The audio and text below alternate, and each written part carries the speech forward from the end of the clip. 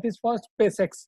I think all of you are aware that SpaceX is going to send few of the astronauts uh, to the space, and in days to come, they are talking about actually even uh, making uh, space tourism affordable for the people. Friends, with respect to space uh, uh, program, please note that there is a outer space treaty which was I think uh, entered into by US, Russia way back in 1960s, 70s. That time in that outer space treaty, they had mentioned one thing specifically that none of the country, none of the countries can own anything in space. But in those agreement, in those treaty, there is no mention about individuals. Practically because in 1960-17, it was literally impossible for any individual to go to space and actually own something or go to even uh, have a moon's moon uh, mission or something of that sort because it was never thought of.